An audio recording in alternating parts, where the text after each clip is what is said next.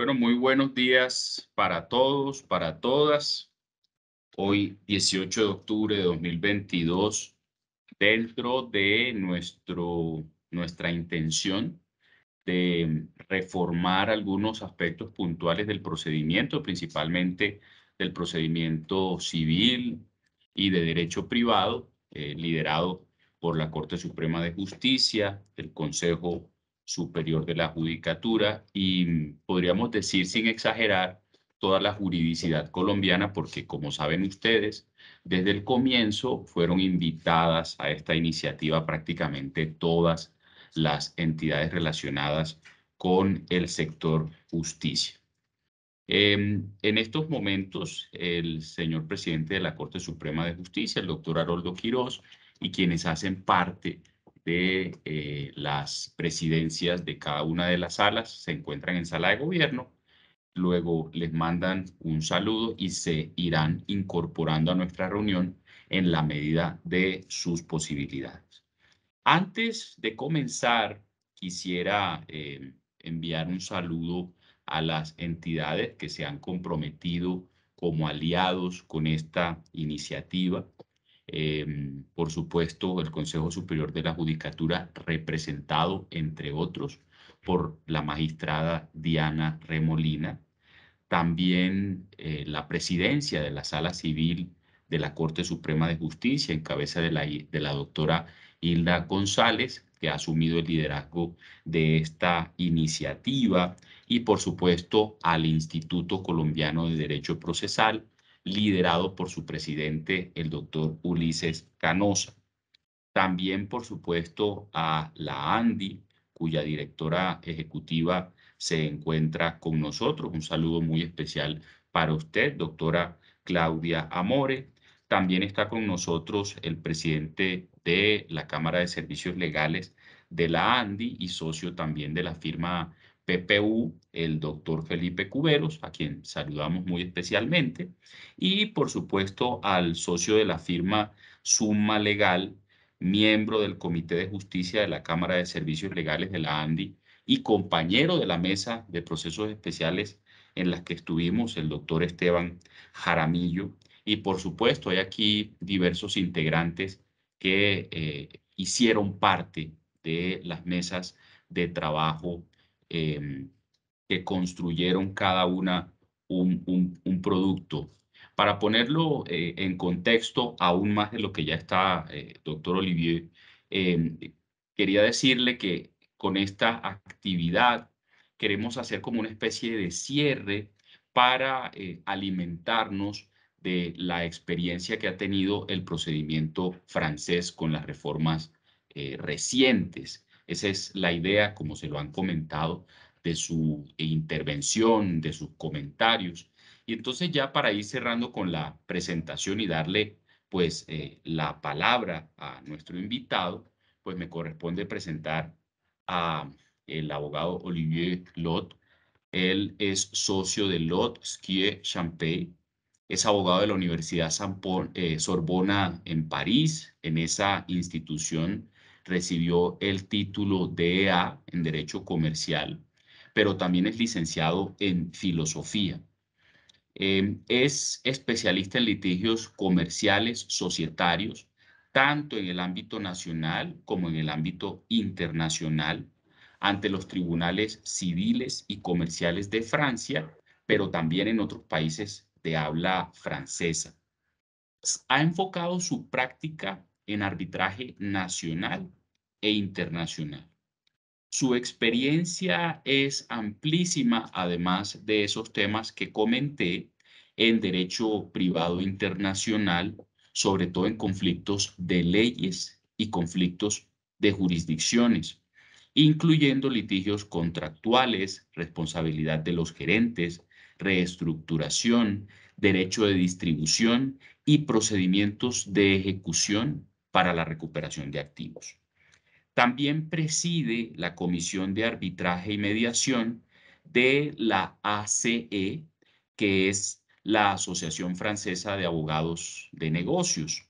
Y desde el año pasado, asumiendo funciones el primero de enero de este año que corre, primero de enero de 2022, el abogado Olivier fue elegido para el Consejo de Abogados de París.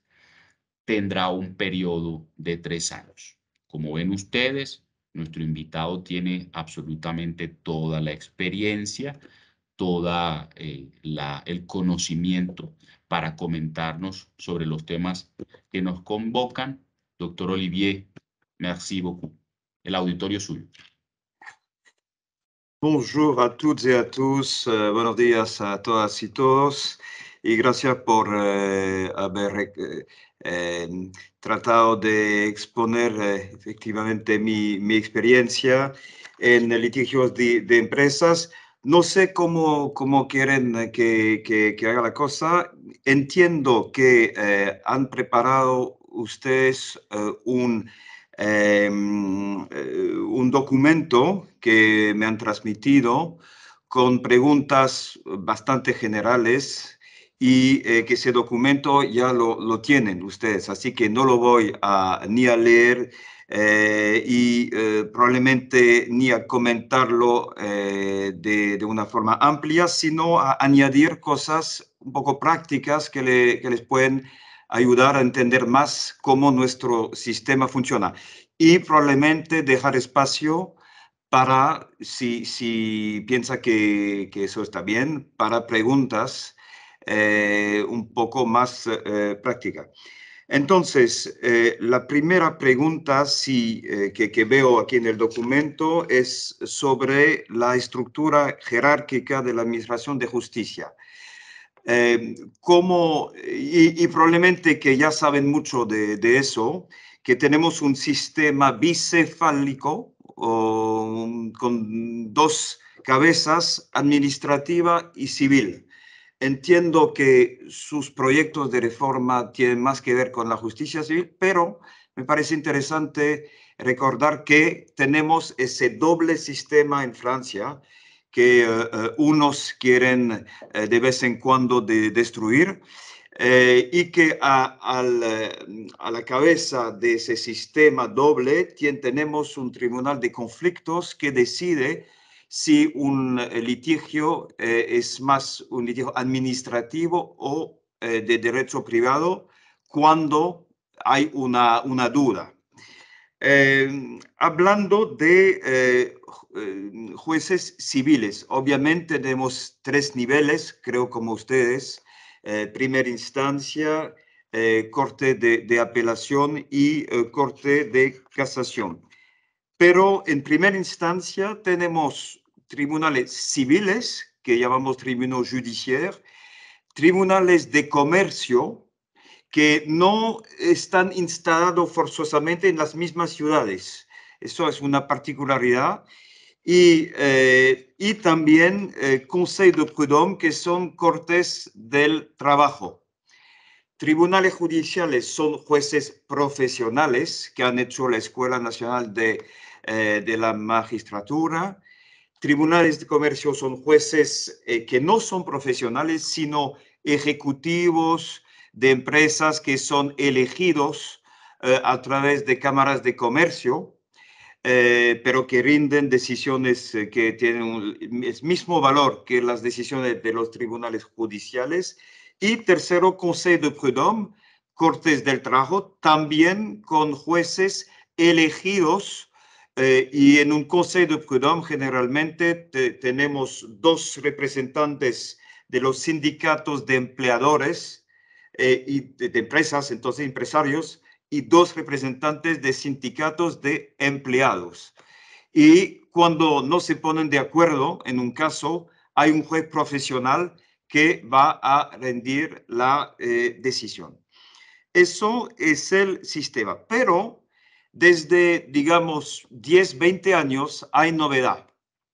¿Cuáles son las novedades? Primero, que en 2010 nuestro presidente de la República en la época, Nicolás Sarkozy, tuvo la idea de permitir que en la ocasión de un litigio privado se pueda eh, eh, preguntar una, eh, hacer una pregunta al Consejo Constitucional, a la Corte Constitucional. Antes no era posible.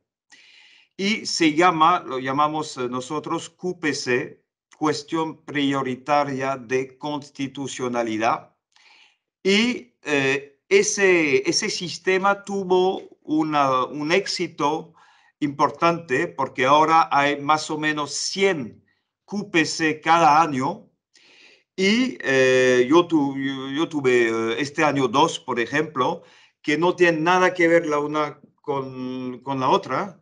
La primera fue sobre la posibilidad o la conformidad a la Constitución de, de la acumulación, de la posibilidad de acumular sanciones administrativas en caso de que haya varias sanciones o varios hechos similares y entonces la posibilidad de tener una sanción casi penal, pero con un importe ilimitado, el Consejo Constitucional ha dicho que sí era posible.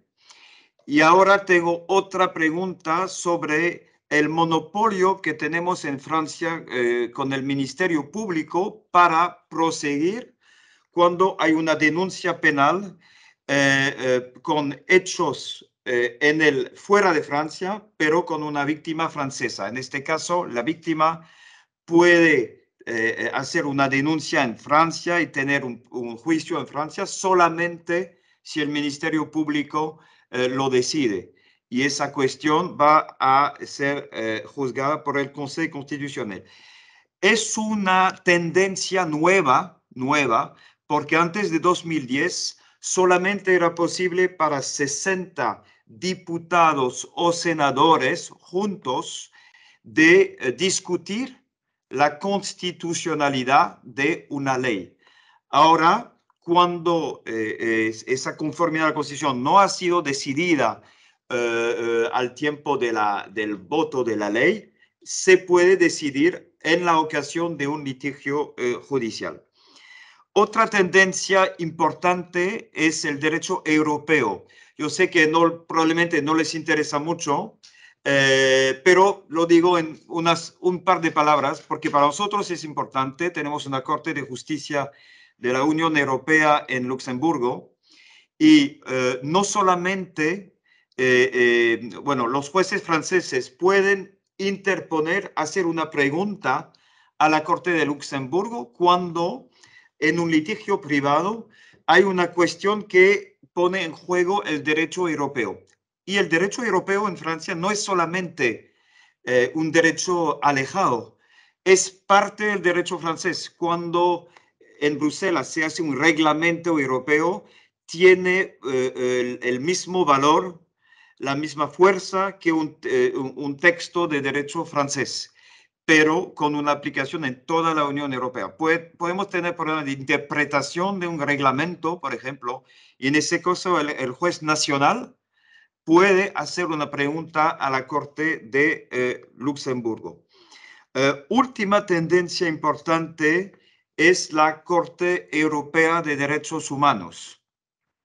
No sé si, si tiene el mismo rol que la, Corte de, creo que de San José en América Latina, pero eh, y en Europa tienen que, recordar que esa CEDH, Corte Europea de Derechos Humanos, no tiene el mismo perímetro que la Corte de la Unión Europea de Luxemburgo que, que, que, está, que está hablando.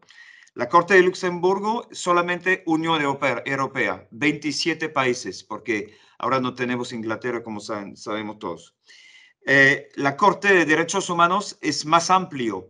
No, no, no, no le puedo decir cuántos países, pero bastante más. Hay Turquía, por ejemplo, eh, hay Rusia, eh, hay países de Europa del Norte que no son parte de la Unión Europea, así que el perímetro es más amplio y eh, en casos incluso civiles o comerciales, se puede en Francia invocar directamente textos de la Convención Europea de Derechos Humanos y si no funciona, después de una decisión final en el país, en Francia, aquí, se puede hacer un recurso ante de la Corte Europea de eh, Derechos Humanos incluso para temas que eh, eh, ahora sí, tengo el número 47 países para la Corte de Derechos Humanos. Y, eh, em, y entonces es una tendencia importante también. Así que sobre esa cuestión, pregunta número uno, creo que, creo que, así, perdón, última tendencia muy importante tenemos ahora desde, digamos, 35 años, pero se está desarrollando autoridades administrativas independientes, AAI, que tienen un poder casi igual o igual a aquello de Cortes del Estado. Por ejemplo, es la Autoridad de los Mercados Financieros, AMF, la Autoridad de Control Prudencial y de Resolución, ACPR, que controla bancos y eh, compañías de seguros. La, la, Corte, eh, la CNIL, la Comisión Nacional eh, Informática y Libertades, CNIL. Y todas esas autoridades tienen una comisión de sanciones y tienen un poder no solamente de sanción, sino también un poder de investigación. Y eh, eh, sus decisiones pueden ser apeladas, sea, depende, ¿eh? pero sea delante de la Corte de Apelación de París o delante del, del Tribunal Administrativo. Pero les debo decir que tienen a veces más poder que los jueces del Estado.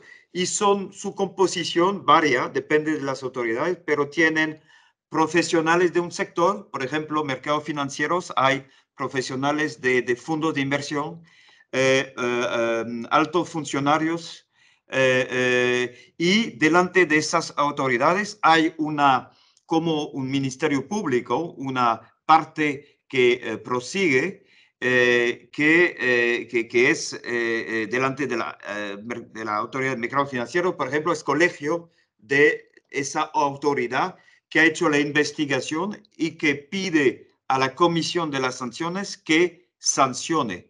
Pero la comisión de sanciones tiene que ser independiente incluso al interior de esa misma autoridad. Eso es el resultado de una jurisprudencia que, que tiene más, más o menos 20 años. Así que como, como ven, es un paisaje que está, eh, que está cambiando y, eh, eh, y, les hablaré en un momentico de mediación y conciliación porque es otra tendencia importante del sistema. Sobre esa, esa primera pregunta, creo que, que he dicho, lo he dicho todo, pero obviamente si hay preguntas, ¿cómo, hacemos, presidente? Preguntas al final, ¿no? Sí, yo creo que... O, por cada pregunta. Yo creo que podríamos dejarlo al final para no cortar su intervención. Al final preguntan sobre los diversos temas, si a usted le parece. Muy bien, muy bien. Ahora, eh, la segunda, el segundo tema era cómo inicia el proceso, ante quién se presenta la demanda, etcétera. Bueno, Voy a hablarles del proceso civil o comercial, no del proceso administrativo, que funciona más o menos igual, pero con eh, particularidades. Eh, y obviamente, si hay preguntas sobre el sistema administrativo, eh, voy a responder. Entonces, en Francia es diverso, diferente de lo que, que, sucede, por ejemplo, en Estados Unidos. Eh, el proceso comienza con una asignación que está notificada a la parte contraria. Eh, es el primer paso.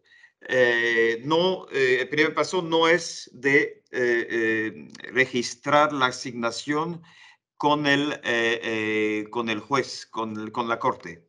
es realmente tomar una fecha y notificar a la parte contraria. Em, he visto que en sus temas eh, hay una pregunta que es, ¿hay autoadmisorio, inadmisorio o de rechazo de la demanda? No tenemos esos conceptos, pero si, si el tema es, ¿puede el juez eh, tomar una decisión sin haber incluso eh, visto las partes, sin haber esperado al escrito de la parte contraria, etcétera, la respuesta es no. Eh, la única excepción es si eh, el juez ve que la asignación no ha sido registrada con la Corte dentro del plazo eh, fijado por la ley, es decir, al menos eh, dos meses antes de la fecha de la primera audiencia y a, lo más tardar 15 días antes de dicha fecha. Em, pero en cada, procedimiento, en cada procedimiento delante de un tribunal civil tenemos un juez especial por cada litigio que va a controlar cada mes el, avance del procedimiento y eh, em, al menos delante de los tribunales judiciales, tribunales judiciales, es decir, tribunales civiles. ¿Qué pasa? Que tiene una audiencia virtual, ahora electrónica, y eh, que eh, para esa audiencia, por ejemplo, puede eh, enviar un mes antes un boletín, es decir, una, no es una orden de justicia, sino una nota administrativa para decir, para esa fecha les pido a tal parte que, de, eh, eh, que haga, que eh, comunique su escrito de demanda, de defensa, de réplica, de dúplica, etc. Y si el juez ve que no ha sido hecho, puede postergar la fecha, puede incluso, en casos un poco difíciles, recibir a las partes y estamos eh, durante ese procedimiento. así que hay un juez que controla cuyo rol es realmente de asegurarse que no hay eh, eh, demora en el procedimiento. funciona bastante bien. Ahora, depende de la cantidad de, de casos que cada cámara del tribunal tiene que gestionar cuando hay 120 casos que gestionar en una, una audiencia virtual de, de una hora, por ejemplo, eh, eh, el juez no tiene mucho tiempo incluso para escuchar a eh, las protestas de tal parte que dice la parte contraria quiere ganar tiempo, etcétera, etcétera. Todo eso se hace más por escrito. Y cuando digo audiencia virtual, otra vez, no, no, es un Teams o un Zoom, es realmente una audiencia que, tiene lugar en el tribunal física, pero cuyo eh, resultado no se, no se está comunicado por notas electrónicas. Solamente cuando hay un problema estamos convocados o podemos pedirle al juez de venir a dicha audiencia administrativa. Eso funciona ante los tribunales judiciales y cortes de apelación no funciona igual delante de tribunales de comercio o tribunales laborales. Eh, sí eh, que eh, se puede resolver problemas de procedimiento antes de la audiencia final, pero el sistema es menos evolucionado, digamos. así es, espero que haya respondido a esa pregunta. Ahora, había una pregunta sobre medidas cautelares. Eh, medidas cautelares, hay dos vías para pedírselas. Eh, el juge de la ejecución, juez de la ejecución, su, su, nombre es un poco, eh, normalmente se encarga de litigios sobre ejecución de sentencias judiciales, pero también está encargado de decidir sobre eh, eh, pedidos de medidas cautelares ex parte. No sé si esa ex parte palabra eh, existe también en Colombia. Entonces, sí podemos hacer eso. Y también hay otro juez que se llama juge de référé, que es el juez de la urgencia, que podemos ir a ver también para pedir medidas cautelares, pero en ese caso es una audiencia eh, que no es ex parte, es una audiencia con una parte contraria y a un debate. Y obviamente eh, la sorpresa no existe en ese caso, eh, siempre que existe en el caso de medidas ex parte. eso era el segundo tema que veo en, en mi documento. Tercer tema, me piden qué sucede si una parte se equivoca en la demanda, cómo se corrigen las equivocaciones, qué rol o funciones tiene el juez para corregirlas. Bueno, muy, muy, muy simple, muy fácil. Se puede corregir demandas hasta casi el final del procedimiento. Es decir, hasta eh, que el procedimiento se eh, tiene una clausura. Porque eh, en, ante los tribunales judiciales y corte de apelación hay una fecha de clausura de los escritos y después de esa fecha no se puede no se puede interponer, no se puede registrar un escrito ni nuevos documentos. Y después de esa fecha no se puede tampoco corregir los escritos. Si no, si no, hay toda posibilidad de corregir. Obviamente también que veo las preguntas. Eh, el juez también tiene una función, es que si se da cuenta que hay una equivocación, hay un problema, puede pasar una nota electrónica a las partes para, que, eh, para pedir eh, que aclaren sus demandas. Eso se hace dentro del procedimiento de la, del diálogo que existe en la parte de gestión administrativa del procedimiento. Eh, tema 4, eh, yo tenía cómo se desarrolla el proceso luego de la presentación de la demanda, contestación, alegaciones de las partes, pruebas, segunda instancia, apelación, etc. Bueno, en, Francia, en la justicia civil, eh, es un poco diferente de lo que incluso pasa en España, por ejemplo, o ni, eh, ni hablar de Estados Unidos o, Inglaterra, es muy raro que te tengamos testigos, por ejemplo. No es prohibido, eh, podemos eh, venir con testigos como, testigos como en una audiencia penal, pero en la justicia civil o comercial no es muy frecuente. También eh, la pregunta es si las partes pueden comparecer personalmente. Quiero decir, si el juez puede eh, interrogar a las partes con eh, minutas, con un, un, documento donde el juez escribe lo que las partes han declarado en la audiencia. Es posible, pero también no es muy frecuente. Yo lo hice un par de veces y eh, eh, em, los jueces en Francia, en París al menos, pero igual eh, fuera de París, no lo hacen mucho porque no tienen el tiempo suficiente para hacerlo. Cuando una parte declara así, dura tres, cuatro horas y no es compatible con nuestro sistema.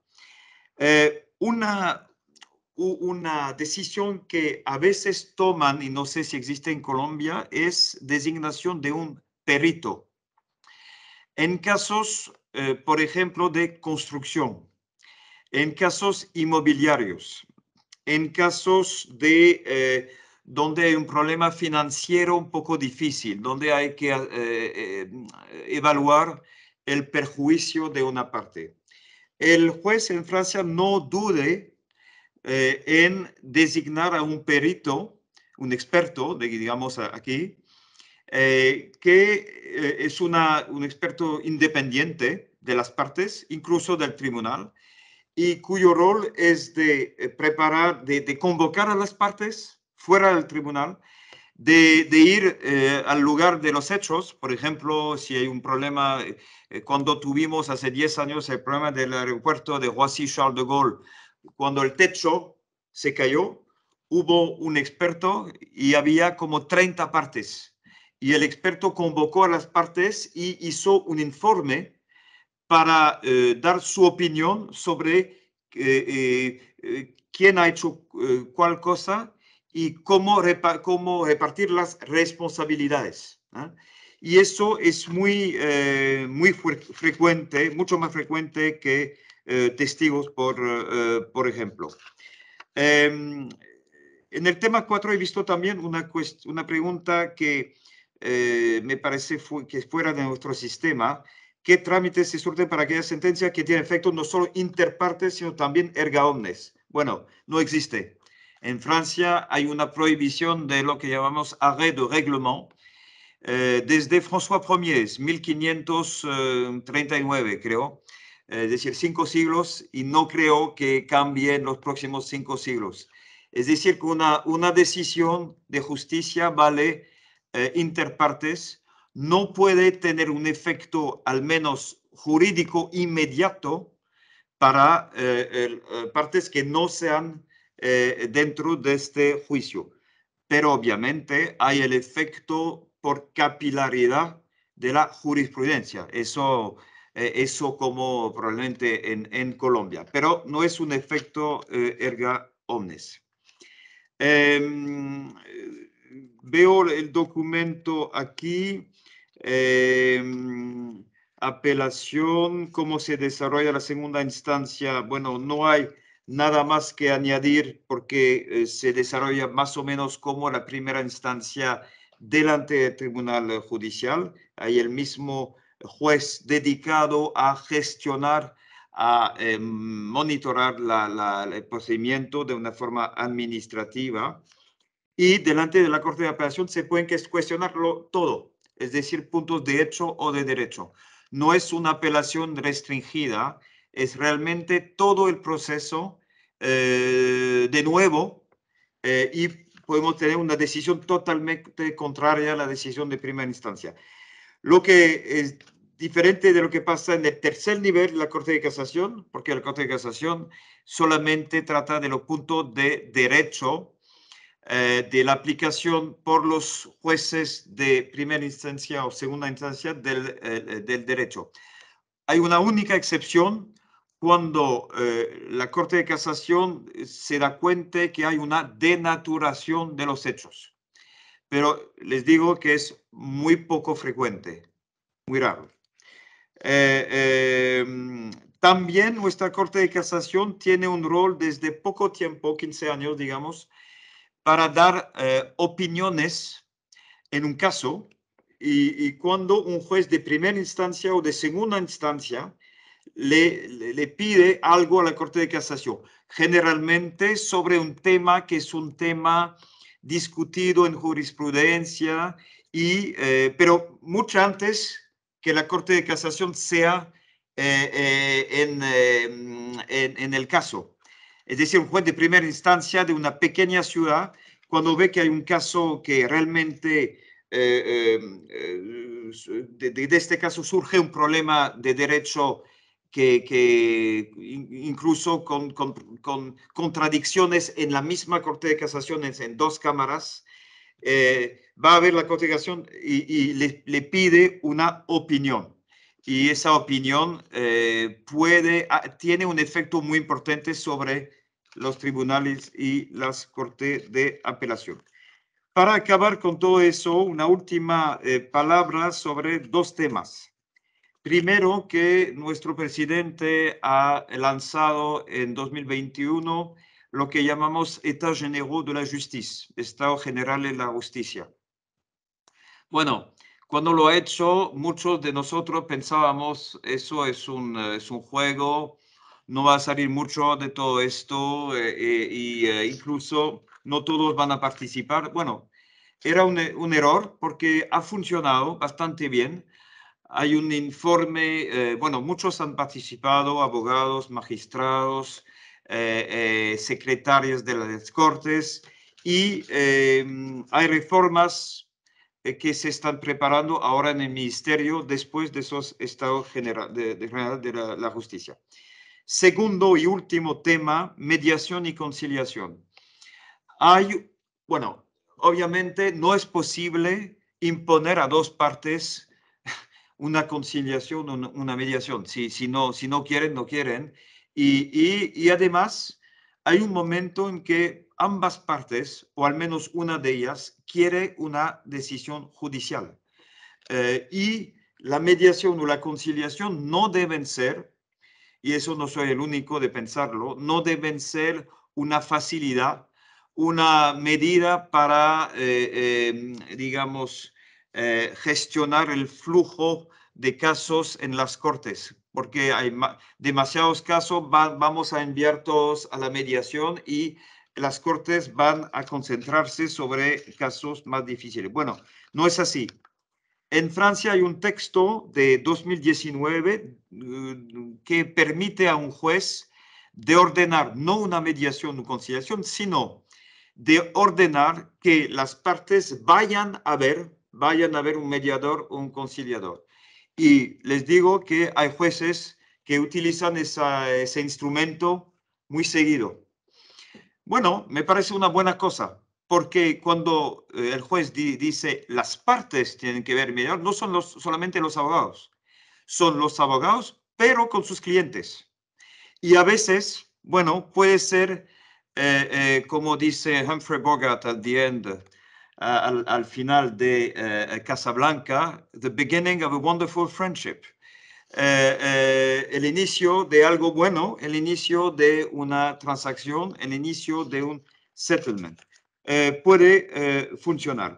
Em, pero también hay una obligación de pasar por la conciliación, esta vez obligatoria, por litigios inferiores de menos de 5 mil euros. Es una, obviamente no es conciliación obligatoria, sino intento de conciliación obligatorio pero les digo que no funciona muy bien y que incluso nuestro Consejo de Estado ha anulado mm, hace no más de tres semanas eh, el texto del código eh, del Código de Procedimiento Civil que lo había previsto. ¿Por qué? Porque consideró que el texto no eh, encerraba ese intento de conciliación en un plazo determinado, así que, bueno, había un problema de acceso a la eh, justicia. Eh, así que eh, nada más, creo que he tratado, sin tomarles demasiado de su tiempo, de comentarles los temas que me habían dado. Muchas gracias por su atención. Muchas gracias a usted. Em, correspondería abrir espacio entonces a los asistentes para que si tienen alguna pregunta nos alcen la mano algún comentario o algún tema eh, que quisieran en particular eh, preguntarle a nuestro invitado el día de hoy.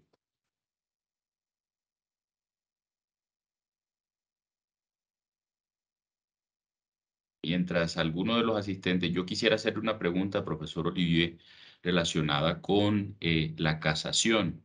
Aparte de esa especie de consulta prejudicial que pueden hacer las cortes o jueces de instancia a la Corte de Casación. Em, y, mediante esa solicitud la Corte da como una especie de concepto. Em, ¿Existe algún otro mecanismo para que cuando llegue la sentencia de segunda instancia a la Corte de Casación, la Corte de, Casación se pronuncie ex oficio sobre algunos puntos de derecho. Y si lo hubiere, yo tengo entendido que sí, y si lo hubiere, em, existe alguna limitación o amplitud en ese marco de competencia, por ejemplo, el respeto del derecho de las partes a pronunciarse previamente sobre los temas? Es básicamente esa la pregunta. Bueno, eh, sobre la, la de Casación, la Corte de Casación, probablemente no soy eh, eh, la, la, persona más adecuada porque, como a lo mejor lo saben, delante del Consejo de Estado, la Corte Suprema Administrativa, y la Corte de Casación hay abogados especializados que tienen su propio colegio de abogados incluso, que tiene su propio eh, eh, recorrido académico y se llaman de Estado y a la Corte de Casación. Y eh, tal vez sería bueno en esos temas que tomen contacto con uno de ellos. bueno, pero voy a tratar de responder. primero, me olvidé decirle que delante de la Corte de Casación el juicio no puede proceder si las partes no han ejecutado la decisión de la Corte de Apelación. Así que hay un sistema que permite a la Corte de Casación de eh, sacar el, eh, eh, no es el informe, sacar el caso del docket, del, registro de la Corte, hasta tanto las partes no han ejecutado la decisión. Y, y, solamente se puede reiniciar el juicio dentro de los dos años que siguen esa decisión, si no se pierde todo. Y eh, eh, después de haber, eh, haberse verificado que la decisión ha sido ejecutada. Segunda, segundo comentario, ha dicho opinión prejudicial, no. es, la, la Corte de Casación puede dar una opinión, pero sobre un, eh, un, litigio, bueno, sobre un tema que ha surgido dentro de una fase judicial en un litigio determinado eh, eh, en esa ocasión. pero no, no en la fase donde ya hay una decisión de la Corte de Apelación. Eso es, es cierto. Tercer comentario, la Corte de Casación desde digamos, 20 años, puede sacar, puede rendir una decisión de no admisión o no admisibilidad, como se, se hace, por ejemplo, en los Estados Unidos desde mucho más tiempo, cuando considera que eh, eh, no hay eh, motivo serio para, para discutir de la decisión eh, de, contestada, decisión de la Corte de Apelación. En este caso, tiene que eh, recibir los comentarios de las partes. Eh, no puede hacerlo propio motu, puede sí em, decir que lo va a hacer, pero tiene que recibir las, los comentarios de las partes.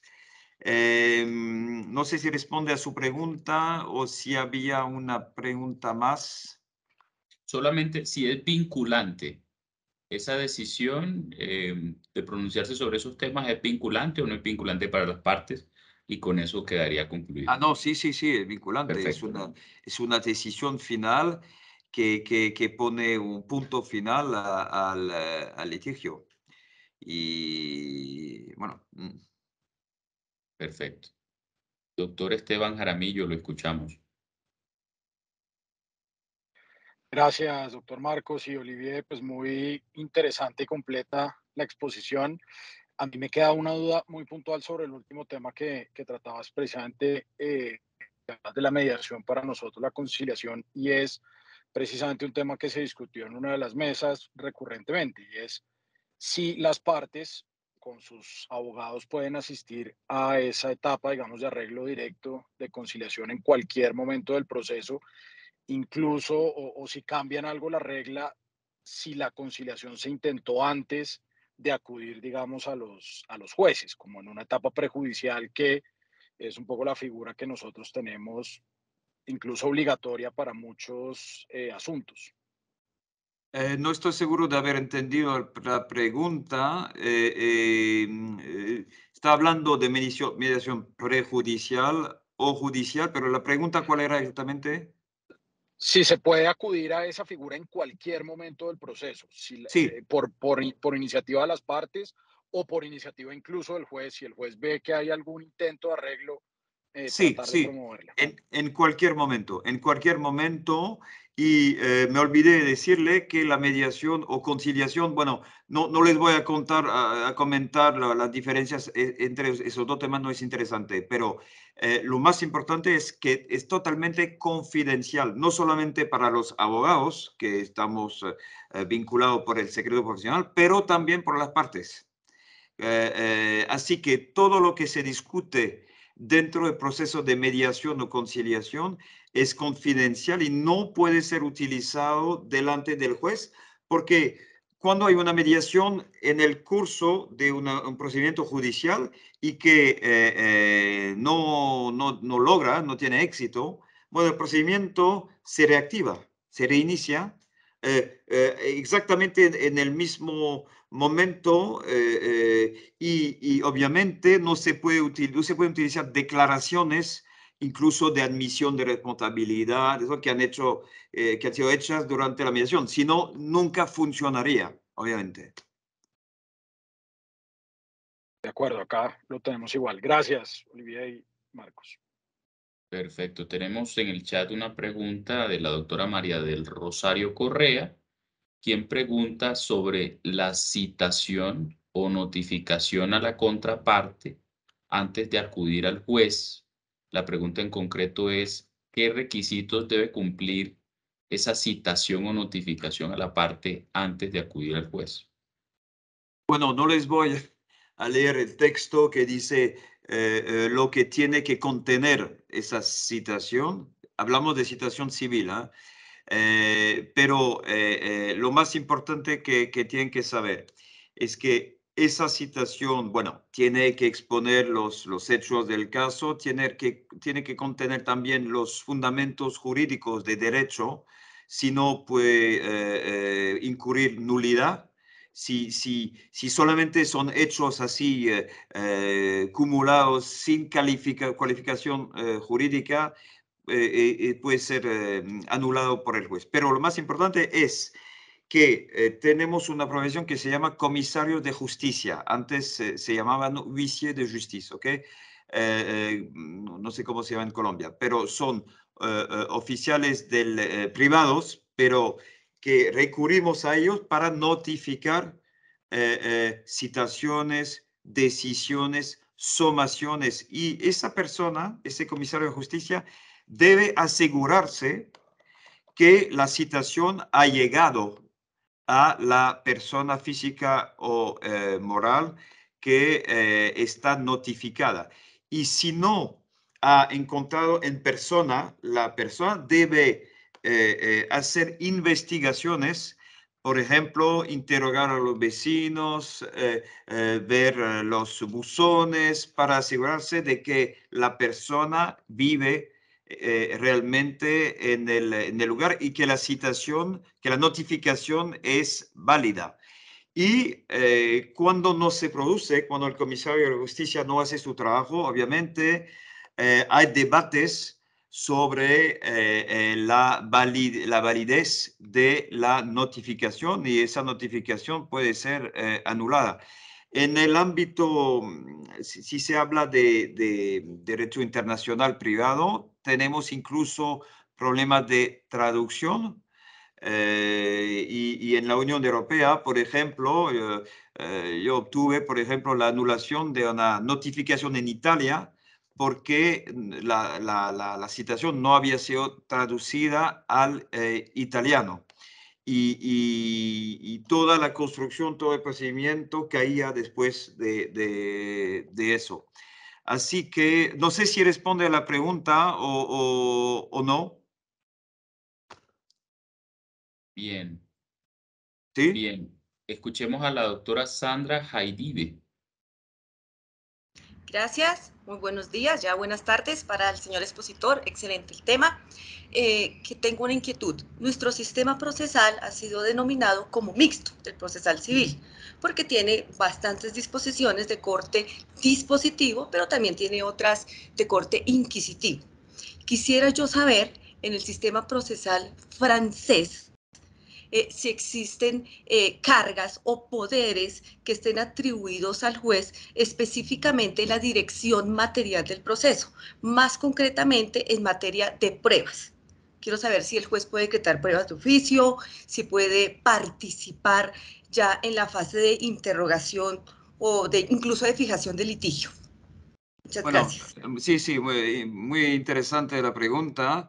Eh, eh, tenemos una esquizofrenia eh, en Francia sobre este tema. Una ¿Por qué? Porque la ley, los textos lo permiten todo.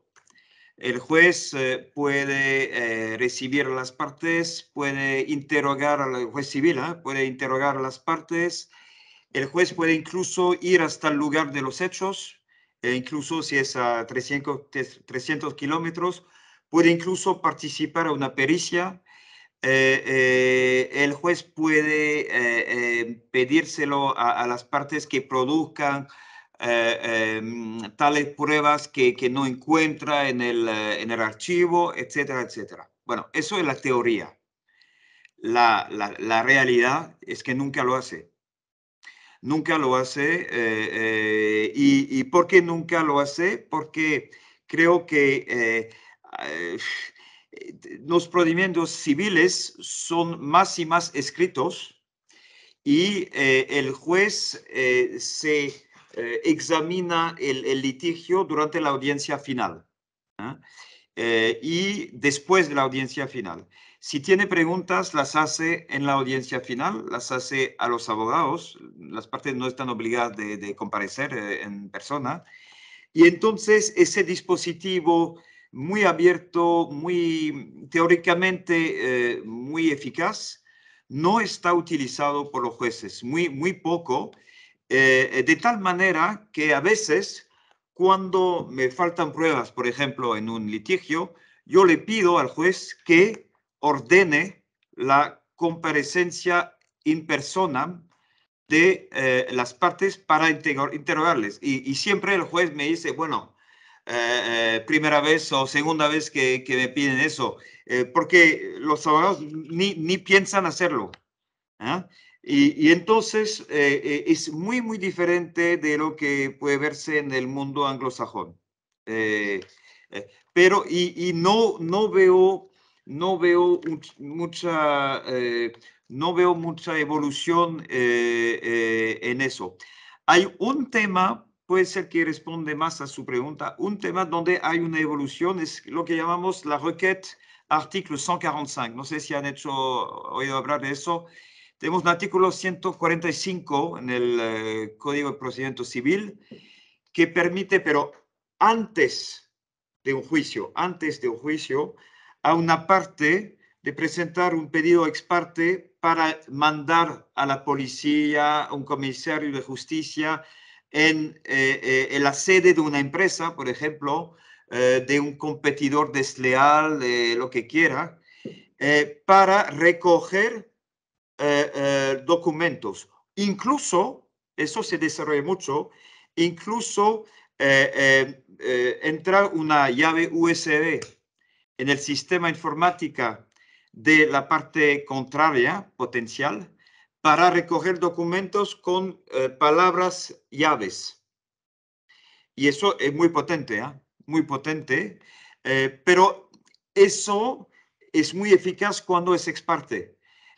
Si, una vez que el juicio ha comenzado y una vez que lo, pides como medida, medida al juez antes de, pronunciarse sobre el, fondo, bueno, el, juez no lo va a hacer porque eh, sabemos que no va a ser muy útil. No sé si responde más o menos a su pregunta. Sí, muchas gracias. Y para completar ahí, quería también saber si cuando el juez toma ese tipo de determinaciones debe fundamentar su decisión o simplemente obedece a, eh, a la respuesta frente a una petición o cuando él lo hace a motu propio, debe sustentar fundamentadamente el por qué opta por decretar una prueba o tomar la última determinación que usted me ha, nos ha manifestado acá y nos ha expuesto. Muchas gracias. No, eh, no, en general, sea con un eh, eh, pedido ex parte antes de un juicio o durante el juicio, el juez puede tomar un, orden sin mucho fundamentarlo. Eh, solamente eh, eh, refiriéndose al pedido hecho por una de las partes. Gracias. Así que, así que es, una, es un instrumento bastante fácil de, de, usarlo. Bueno, muchas gracias. Para concluir, vamos a hacerle dos preguntas finales, doctor Olivier. La primera está en el chat y la hace la magistrada María Patricia Balanta y básicamente es lo siguiente. Nosotros en Colombia tenemos un listado de decisiones eh, que son autos, que son susceptibles de apelación, es decir, en el curso del proceso, de ser impugnadas para que suban ante el juez de segunda instancia y esas decisiones que son accesorias, algunas de trámite, eh, son apeladas y apelables ante el juez de segunda instancia. Eh, ¿Existe lo mismo en Francia? Existe también una serie de decisiones distintas de la sentencia que profiere el juez de primera instancia y que son susceptibles de apelación mientras se surte el trámite? Todas decisiones son eh, susceptibles de apelación, excepto eh, decisiones eh, con importes debajo de, creo que es 10 mil euros, cambia todo el tiempo, 10 mil euros.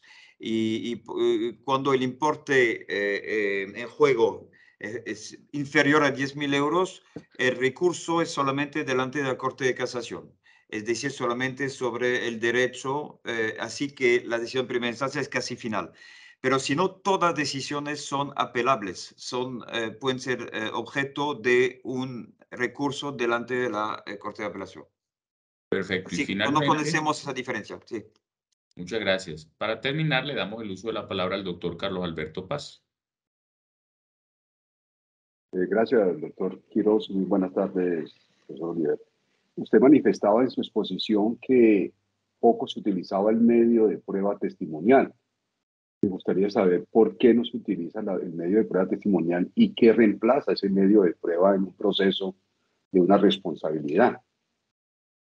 Bueno, lo que reemplaza ese medio de prueba es la prueba escrita, que es como la prueba reina. Eh, eh, incluso la prueba, escrita por eh, atestaciones, affidavits que, es, un testimonio, pero escrito. Pero tiene razón, para, si, si, quisiéramos tener juicios y, que, van al fondo, que van hasta lo, más hondo posible para determinar la verdad judicial, bueno, sí, sería muy importante que no en todos casos, pero que en algunos casos sí se pueda eh, oír a testigos. Es posible otra vez y, si se lo pide al juez, bueno, puede negárselo o puede aceptar, pero eh, en 99% de los casos no se hace, no se hace. Muchas gracias, muy amable. Bueno, Siendo así, salvo que usted tenga algún comentario final, profesor Olivier, pues daríamos por terminada nuestra sesión del día de hoy, renovando nuestros agradecimientos a las entidades y personas que mencionamos al comienzo y por supuesto a usted por la disposición, por la claridad en sus explicaciones. Yo sé que van a ser de bastante utilidad. Hemos grabado la sesión con el fin de compartirla eh, y que la mayoría de personas puedan conocer los temas sobre los que usted nos ha comentado. Siendo así, levantamos la sesión, le agradecemos nuevamente y estamos gustosos por haber estado acá.